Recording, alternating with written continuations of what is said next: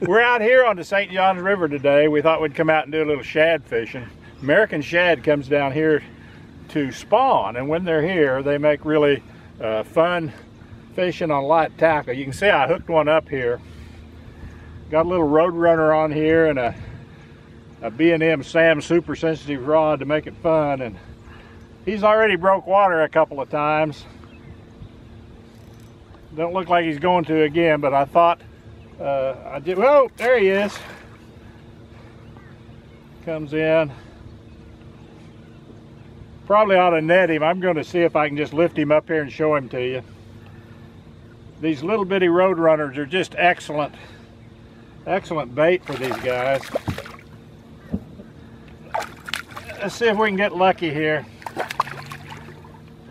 There's what he looks like.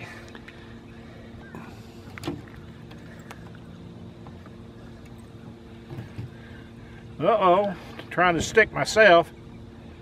Get that out, but you see I had a Roadrunner up here at the top. That's kind of a yellow one.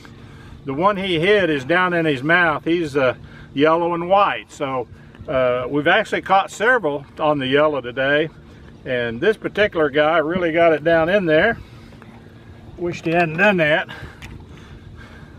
In fact, because normally I like to just just take them off and put them back, but he was hooked real deep, so I'm going to throw him in the live well. After a while, I'll throw him out there. We'll chump, chump him up, I'll throw him out there, and we'll see if, well, I guess we won't use that one, but one of the others that I had, them slick little devils, uh, going to chop it up here later on and uh, give it a try for uh, some catfish. Maybe we'll get them. They should be good. A lot of times when the shad show up, uh, some big channel cats show up here in the St. Johns River. Anyway, there you go. Quick little uh, video from the St. Johns River this morning. Fish with passion.